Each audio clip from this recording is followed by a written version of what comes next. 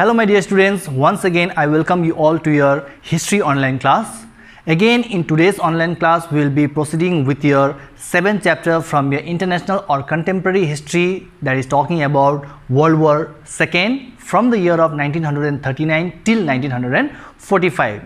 So if you have seen the first part of the video there I have explained you regarding that what were exactly the aggressive policies taken by Germany under the leadership of Adolf Hitler when he mainly founded a new political party in Germany known as Nazi Party and what were exactly the aggressive policies and little bit background about the First World War, League of Nations, Treaty of Versailles and so on. But in today's class we will mainly focus on two more countries who also took the same kind of aggressive policies similarly like Germany under Hitler. So those two countries talking about the Italy and Japan. So even Germany, Italy and Japan they actually founded a very good pact known as Rome, Tokyo, Berlin Axis Pact in the year of 1937 keeping all the three countries capital Berlin for Germany, Tokyo for Japan and Rome for Italy. So similarly we'll talk first with the Italy that how Italy under the leadership of Benito Mussolini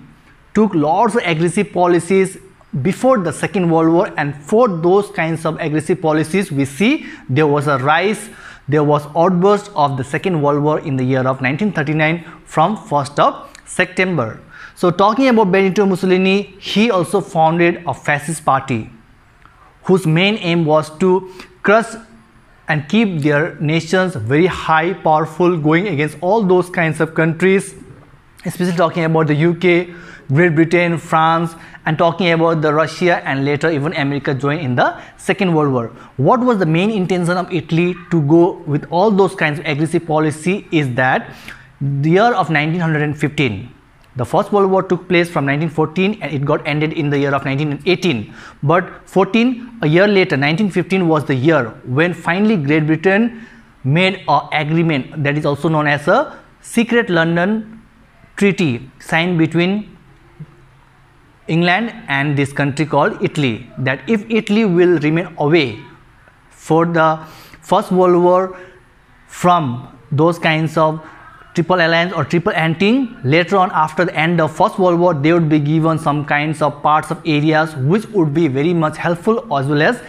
developing areas for italy country. And that made italy to stay neutral during the first world war but when after the end of first world war italy did not got any such kind of result the promise that was been kept with the london secret treaty of 1915 that made italy to get angry and just go with those kinds of aggressive policies against those kinds of countries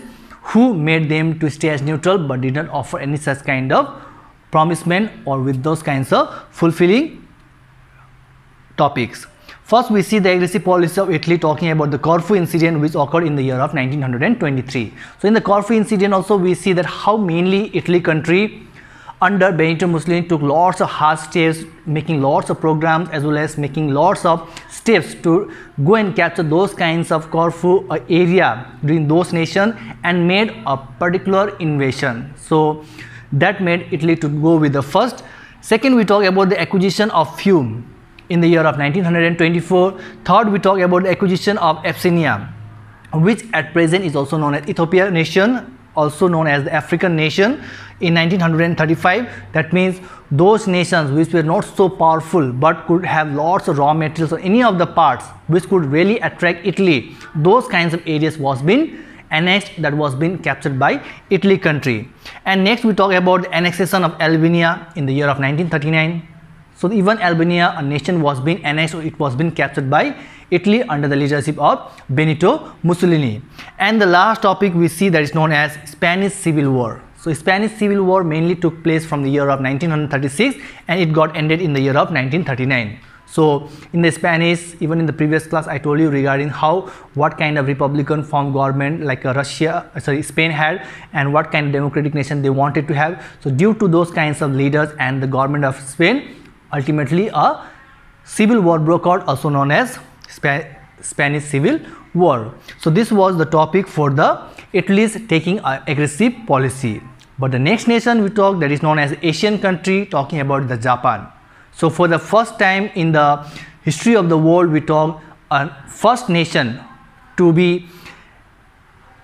adding or just took part in the war that was Japan. Because if we talk about the first world war we don't find any of the Asian countries who took part in the first world war. Only we talk about the European nation like France, Great Britain, Germany, Italy, Bulgaria, Austria, Hungary and so many other only the European countries. But in the second world war we see only Japan stood as a first Asian country to take part in the second world war joining a team with Italy and Germany after a pact was signed in the year of 1937 and the first we see that Japan aggressive policy. They were very much attracted towards their neighboring Asian country known as China.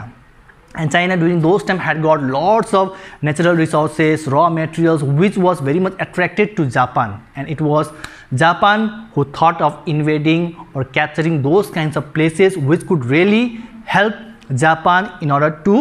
take those kinds of natural resources or any such kind of raw materials from China's provincial area. And the first annexation done or capture done by Japan was of Manchuria from Chinese province Hubei in the year of September 1931 attracting toward all those kind of natural resources and after 1931